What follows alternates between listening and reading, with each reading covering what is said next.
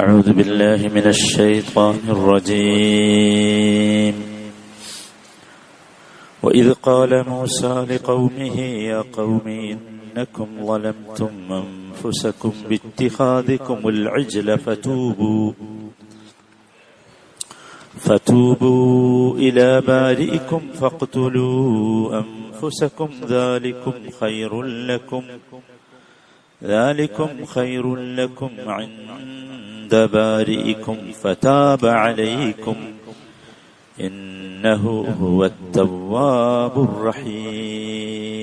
الرحيم അൻപത്തി നാലാമത്തെ വചനം നമ്മൾ മൂന്നാമത്തെ ദിവസമാണ് ഈ വചനത്തിൽ വൈദ് കാല മൂസ ലിഖൗമിഹി മൂസ തന്റെ ജനതയോട് പറഞ്ഞ സന്ദർഭം നീ ഓർക്കുക യാ കൗം എന്റെ സമൂഹമേ.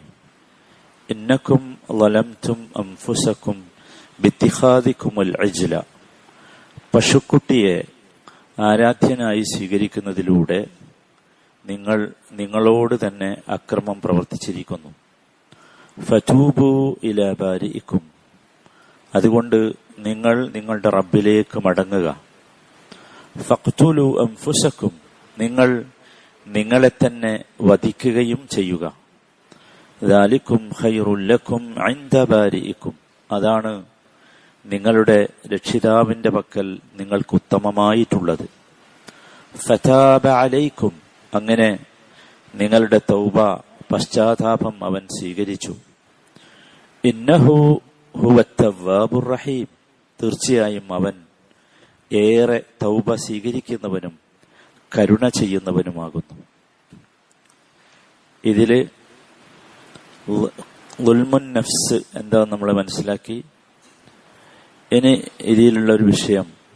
ഫതൂബു ഇലാബാരിക്കും അവിടെ നിന്നല്ലേ നമ്മൾ പറയാറില്ലേ ഫതൂബു ഇലാ ബാരി ഇക്കും നിങ്ങൾ നിങ്ങളുടെ റബ്ബിലേക്ക് പശ്ചാത്തപിച്ച് മടങ്ങുക. അപ്പോ ലുൽമുൻ നഫ്സ് വന്നു എന്ന് തോന്നിയാൽ നമ്മൾ പറഞ്ഞു എന്ത് തെറ്റ് നമ്മൾ ചെയ്താലും അത് നാം നമ്മുടെ സ്വന്തത്തോട് ചെയ്യുന്നതാണ്. അപ്പൊ അങ്ങനെ തോന്നിയാൽ പിന്നെ അടുത്ത സ്റ്റെപ്പ് അതാണ്. ഫതൂബു ഇല ബാരിക്കും നിങ്ങളുടെ ഭാര്യയിലേക്ക് നിങ്ങൾ പശ്ചാത്തപിച്ച് മടങ്ങുക. എല്ലാ പ്രവാചകന്മാരുടെ ചരിത്രത്തിലും ഇത്തരത്തിലുള്ള പശ്ചാത്താപത്തിന്റെ അല്ലെങ്കിൽ തൗബയുടെ ഇസ്തിഗ്ഫാറിന്റെ ചരിത്രം കാണാം. ഇപ്പൊ നമ്മൾ നബിയുടെ കഥ ആണല്ലോ പറഞ്ഞു തുടങ്ങിയത്. അവിടെ കണ്ടത് റബ്ബന ലലംന അംഫുസന. അപ്പൊ ആദം അലഹിസ്സലാം ഏറ്റു പറയുകയാണ് ഞങ്ങളോട് ചെയ്തു ഞങ്ങൾ അക്രമം ഇവിടെ ഫതൂബു ഇല ഭാരി നോക്കൂ ഇതിന്റെ തൊട്ടു മുമ്പുള്ള ആയത്തിലുള്ളത് അഫൗന അങ്കും എന്നാണ്. അഫൗന അൻപത്തിരണ്ടാമത്തെ ആയത്ത് കണ്ടില്ലേ? സുമ അഫൗന അങ്കും ദാലിക്. അതിനുശേഷം നാം നിങ്ങൾക്ക് മായ്ച്ചു കളഞ്ഞു പുറത്തു തന്നു എന്നൊക്കെയാണ്. ഈ ആയത്തിലോ ആ പുറത്തു തരാൻ വേണ്ടിയുള്ള അപേക്ഷ സമർപ്പിക്കാനുള്ള കൽപ്പനയാണ്. ഫതൂബു.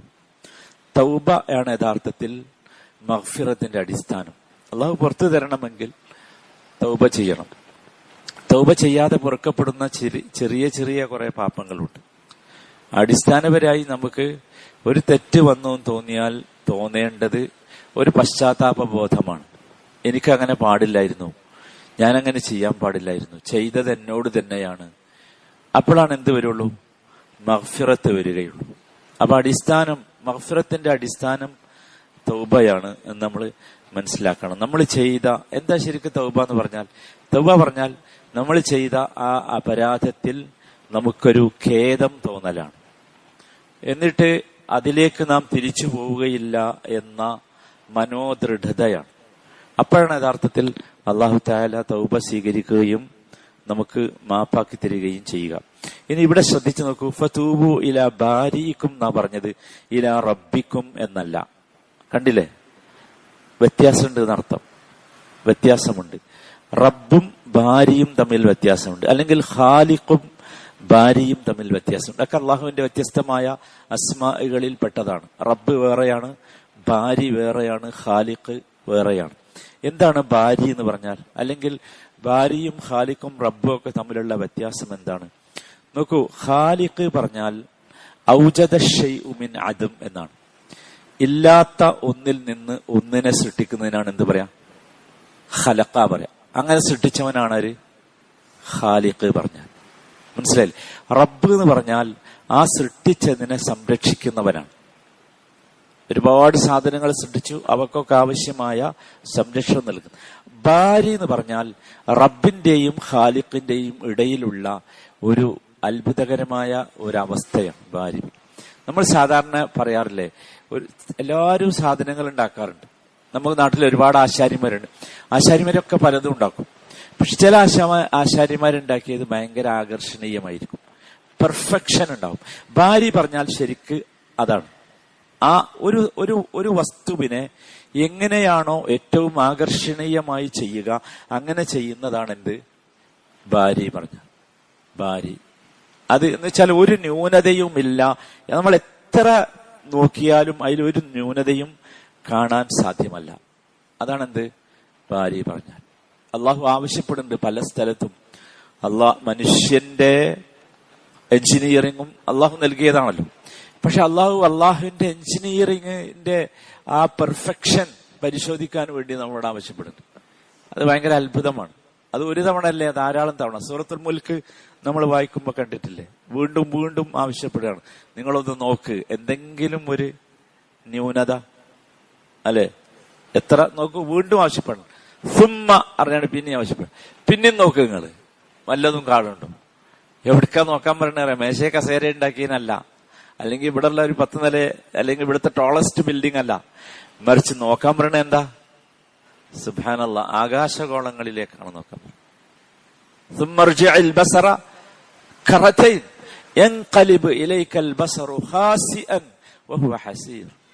വീണ്ടും നോക്ക് രണ്ടാമതും നോക്കാൻ അവർ. നീ നോക്ക് രണ്ടാമത് ആകാശത്തേക്ക് നോക്ക്. ഗ്രഹങ്ങളിലേക്ക് നോക്ക്. എന്താ സംഭവിക്കാറോ എന്താ സംഭവിക്കുക നിന്റെ കണ്ണ് നിരാശമായി നിന്നിലേക്ക് തന്നെ മടങ്ങും. എന്ന് വെച്ചാ ഒരു ന്യൂനതയും കാണാൻ നമുക്ക് സാധ്യമല്ല. ഇതാണ് എന്ത് ഭാര്യ പറഞ്ഞാൽ. ഇത്ര ധൈര്യമായിട്ട് ഇത് പറയാൻ ആർക്കേ കഴിയൂ? ഭാര്യക്കേ കഴിയൂ. ഭാര്യക്കേ കഴിയൂ. അതുകൊണ്ടാണല്ലോ മനുഷ്യനാണ് അള്ളാഹു സൃഷ്ടിച്ചതിൽ ഏറ്റവും ഏറ്റവും പ്രതിസന്ധിയുള്ള സൃഷ്ടി മനുഷ്യനാണ്. ആണല്ലോ. മനുഷ്യന്റെ നാഡി ഞരമ്പുകങ്ങൾ അത്ഭുതമാണ്. ഭയങ്കര അത്ഭുതമല്ലേ നമ്മളിന്നാൾ മനുഷ്യന്റെ തലച്ചോറിനെ കുറിച്ച് പറഞ്ഞല്ലോ. തലച്ചോറിനേക്കാൾ അത്ഭുതമാണ് ഈ നാഡി നരമ്പുകളൊക്കെ ഭയങ്കര അത്ഭുതമാണ്. എത്ര മനോഹരമായാണ് നിങ്ങൾ ആലോചിച്ച് നോക്കൂ. ഈ നമ്മുടെ ബ്രെയിനിലേക്ക് ഈ നരമ്പുകൾ സന്ദേശങ്ങൾ എത്തിക്കുന്നത്. അത് അത്ഭുതമല്ലേ? നമ്മൾ വിചാരിക്കുന്നത് ബ്ലഡ് മാത്രമല്ല രക്തം മാത്രമല്ല സർക്കുലേറ്റ് ചെയ്യപ്പെടുന്നത്. സന്ദേശങ്ങൾ പോകുന്നു. നമ്മളിവിടെ തൊട്ടാൽ എന്നെ ഒരാൾ കുത്തിയാൽ ഞാൻ അനുഭവിക്കുന്ന വേദന. നോക്കൂ ഒരു മില്ലി സെക്കൻഡ് സമയം കൊണ്ടല്ല. അല്ലെ അതിനേക്കാൾ എത്രയാണോ ചെറിയ യൂണിറ്റായി നമുക്ക് സമയത്തെ പറയാൻ സാധിക്കുന്നത്. അത്രയും ചെറിയ സമയത്തിനടുക്കാണ് ആ സന്ദേശം തലച്ചോറിലെത്തുന്നതും തലച്ചോർ അവിടെ നിന്ന് എന്ത് ചെയ്യണം എങ്ങനെ ആക്ട് ചെയ്യണം എന്നുള്ളത് പറയുന്നത്. എത്ര പെട്ടെന്ന് നമ്മൾ വർക്ക് ചെയ്യണം ആലോചിച്ചു അതുകൊണ്ട് ഏറ്റവും പ്രതിസന്ധി സൃഷ്ടി പ്രതിസന്ധിയുള്ള സൃഷ്ടിപ്പ് യഥാർത്ഥത്തിൽ മനുഷ്യനാണ്. ആ മനുഷ്യനെ കുറിച്ച് പറഞ്ഞിട്ട് അല്ല പറഞ്ഞത് എന്താ? വലക്കത് ഖലഖ്നൽ ഇൻസാന അഹ്സനി തഖവീം. അതാണ് ഭാര്യ പറഞ്ഞത്. ഫി അഹ്സനി തഖവീം. അത്ര പെർഫെക്റ്റ് അതാണ് അഹ്സൻ തഖവീം. ഏറ്റവും ഒരാൾ പറയുന്നേ ആരെങ്കിലും ഒന്ന് അഭിപ്രായപ്പെട് മനുഷ്യന്റെ മൂക്കിന്റെ ഓട്ട ഇവിടെ അല്ല വേണ്ടിയിരുന്നത് കുറച്ച് മുകളിലാണ്. ഒന്ന് പറയാ ആരെങ്കിലും. ആരെങ്കിലും ലോകത്ത് പറഞ്ഞു എത്ര ജന്തുശാസ്ത്രജ്ഞർ വന്നു ഇവിടെ? എത്ര സുപ്രധാനമായ ഗവേഷണങ്ങൾ നടന്നു ഇവിടെ സൃഷ്ടിപ്പിന്റെ ഒക്കെ കാര്യത്തിൽ? പക്ഷെ ആരെങ്കിലും പറഞ്ഞു എന്ത് ഉദാഹരണങ്ങൾ ആലോചിച്ച് നോക്കൂ. അള്ളാഹു താല ഹസ്സനു തക്വീമില സൃഷ്ടിച്ചത്. ഇതാണ് എന്ത് ഭാര്യ പറഞ്ഞു സുഹാനല്ല നമ്മൾ അള്ളാഹുവിനെ സാധനമാരെ അള്ളാഹുവിന്റെ അസ്മാകളിലൂടെ സിഫാത്തുകളിലൂടെ അള്ളാഹുവിനെ അറിഞ്ഞാൽ ഒരിക്കലും നമ്മൾ അള്ളാഹുവിന്റെ ഇരുന്ന് വിട്ടുപോകില്ല ഇപ്പൊ നമ്മൾ വിട്ടുപോകണം എന്തുകൊണ്ടാ നമുക്ക് അള്ളാഹ് അള്ളാഹിനെ മനസ്സിലാണില്ല അള്ളാഹുവിനെ നമുക്ക് മനസ്സിലായിട്ടില്ല. അതാണ് പ്രശ്നം. അതാണ് ഫതൂബു ഇലാ ബാരിയിക്കും അതുകൊണ്ട് നിങ്ങളുടെ ഭാര്യയിലെ ഭാര്യയിലേക്ക് നിങ്ങൾ മടങ്ങുക. നമ്മൾ മടങ്ങേണ്ടത് ആരിലേക്കായിരിക്കണം? ഭാര്യയിലേക്കായിരിക്കണം ആ ഏറ്റവും പെർഫെക്റ്റ് ആയിട്ട് സൃഷ്ടിച്ച അള്ളാഹു എന്താ കാര്യം ചോദിച്ചാൽ നോക്കൂ നമ്മളിവിടെ എന്തിനെ കുറിച്ചാ പറയുന്നത് എല്ലാവരും ഓർമ്മ എന്തിനെ കുറിച്ചാ പറയുന്നത്? അള്ളാഹു താല ഏറ്റവും വലിയ സംരക്ഷണമാണ് ബനു ഇസ്രായേലിന് നൽകിയത്. കടൽ കടന്ന് ഇപ്പുറത്തി. ആരിൽ നിന്നാ രക്ഷിച്ചത്? അറുത്ത് കൊല്ലുന്നവരിൽ നിന്നാണ് സംരക്ഷണം നൽകിയത്. എന്നിട്ട് കടൽ കടന്ന് ഇപ്പുറത്തിയിട്ട് ആദ്യം പറഞ്ഞ വാക്കെന്താ? ഇജഅല്ലന ഇലാഹൻ കമാലഹും. അല്ലെ? ഇമാതിരി നന്ദികേട് വേറുണ്ടോ ഇജഅല്ലന ഇലാഹൻ കമാലഹും അല്ലെ അവർക്കുമില്ലേ കുറെ? അപ്പൊ ഞങ്ങൾക്കും വേണം കുറെ. നിങ്ങൾ ആലോചിച്ചു ഇതിനപ്പുറം ഒരു നന്ദികേടുണ്ടോ? അതുകൊണ്ടാണ് അള്ളാഹു താല ഇവിടെ പ്രത്യേകമായി ഇങ്ങനെ പറഞ്ഞത്. ഫതൂബു ഇലാ ഭാര്യക്കും എങ്ങനെയാണ് നിങ്ങൾക്ക് സാധിക്കുക? എങ്ങനെയാണ് നിങ്ങൾക്ക് സാധിക്കുക? ഈ പശുക്കുട്ടിയെ ഈ മൂസ സാമിരി വന്നപ്പോഴേക്ക് നിങ്ങൾക്ക് എങ്ങനെയാണ് ഈ പശുക്കുട്ടിയെ ആരാധിക്കാൻ സാധിച്ചത്? ഏറ്റവും നല്ല അഹ്സനുൽ ഖാലിഖീനെ നിങ്ങൾ ഒഴിവാക്കുകയല്ലേ ചെയ്തത് എന്ന്. അതൊരു വല്ലാത്ത അത്ഭുതമുള്ള വാചകമാണ്. നമ്മളെല്ലാവരും മനസ്സിലാക്കണം. ഇല്യാസ് അലഹിസലാം അദ്ദേഹത്തിന്റെ സമൂഹം ഇങ്ങനെ തന്നെ ചെയ്തു. അപ്പൊ അദ്ദേഹത്തിന്റെ സമൂഹത്തോട് അദ്ദേഹം ചോദിച്ച ഒരു ചോദ്യം ഖുറാൻ പറയുന്നുണ്ട്.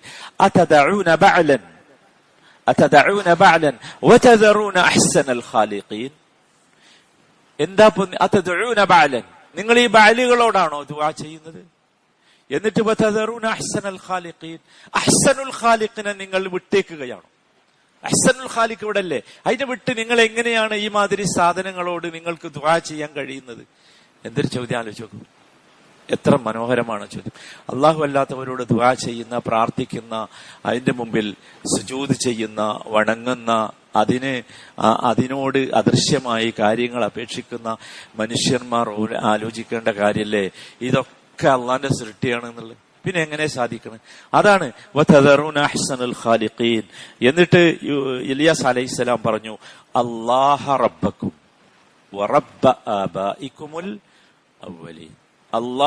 റബ്ബക്കും അള്ളാഹു ആണ് കേട്ടോ നിങ്ങളുടെ റബ്ബ്. ഇതല്ല. നിങ്ങളുടെ മാത്രമല്ല നിങ്ങളുടെ പൂർവപിതാക്കളുടെ മുഴുവൻ റബ്ബാരാ അള്ളാഹുവാണ് അതുകൊണ്ട് ആ അള്ളാഹുവിനോട് നിങ്ങൾ ദ്വാ ചെയ്യും.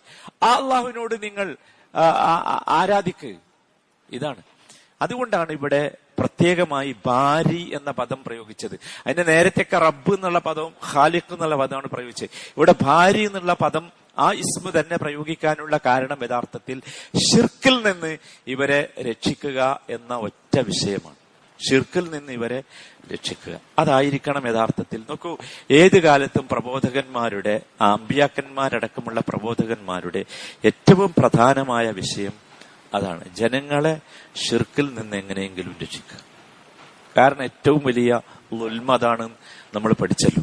അതിൽ നിന്ന് രക്ഷപ്പെട്ടെങ്കിൽ മാത്രമേ യഥാർത്ഥത്തിൽ നമ്മളൊക്കെ രക്ഷപ്പെടുകയുള്ളൂ. അത് നമ്മൾ ആലോചിക്കണം. അതുകൊണ്ട് നമുക്ക് എപ്പോ സഹോദരന്മാരെ നമ്മളൊക്കെ മനുഷ്യരാണ് എന്ത് വരും? തെറ്റ് വരും. എപ്പോ തെറ്റ് വന്നാലും നമ്മൾ ഓർക്കേണ്ടത് ഈ കഥയാണ്. ഏത്? ഈ കഥ. ഇങ്ങനെ നന്ദികേട് കാണിച്ച് സമൂഹത്തോട് പോലും അള്ളാഹു എന്താ കൽപ്പിച്ചത്? ഇല ഭാര്യ. കാരണം നമുക്ക് അങ്ങനെ ഒരു ഭാര്യയുണ്ട്. ഏത് തെറ്റും നമുക്ക് പുറത്തു തരുന്ന ഒരു റബ്ബ് നമുക്കുണ്ട് എന്ന ബോധം നമുക്കുണ്ടാകണം. അപ്പൊ നമ്മൾ ഇൻഷാല്ല രക്ഷപ്പെടും. തൗബയെ കുറിച്ച് നമ്മൾ നേരത്തെ പറഞ്ഞല്ലോ. തൗബയുടെ ഗുണം യഥാർത്ഥത്തിൽ എന്തല്ല? എന്ത് മാത്രമല്ല? പരലോകത്ത് അള്ളാഹു നമുക്ക് പുറത്തു തരും എന്നത് മാത്രമല്ല എന്ന് നമ്മൾ മനസ്സിലാക്കിയല്ലോ. അത് മാത്രല്ല. തൗബയുടെ ഗുണം ഭൗതിക ജീവിതത്തിൽ ഒരുപാട് ഗുണങ്ങൾ ഒരുപാട് ഗുണങ്ങളുണ്ട് തൗബക്ക്. അതുകൊണ്ട് ആ ഗുണങ്ങളൊക്കെ നമുക്ക് കിട്ടാനാണ് യഥാർത്ഥത്തിൽ ഈ തൗബ എന്ന് മനസ്സിലാക്കിയായിരിക്കണം. നമ്മുടെ തെറ്റുകളെ നാം അങ്ങനെ കാണണം. അതാണ്. അങ്ങനെ നമുക്ക് കാണാൻ സാധിക്കണം. നമുക്ക് നന്മ ജീവിതത്തിൽ ഉണ്ടാകാൻ കാരണമാണ് എന്ത് തൗബ. അത് നമ്മൾ ശരിക്കും മനസ്സിലാക്കണം. അപ്പൊ തെറ്റെന്തായി? തെറ്റ് പോസിറ്റീവായല്ലോ എനിക്കൊരു അബദ്ധം പറ്റി ഒരു ഒരു തെറ്റ് സംഭവിച്ചു എന്റെ ജീവിതത്തിൽ എന്നത് എന്തല്ല? ഒരു വല്ലാത്ത അപരാധമായി നിരാശനായി നിൽക്കേണ്ടവനല്ല നാം. അള്ളാഹുവിന്റെ റഹ്മത്ത് അത്ര വിശാലമാണ്.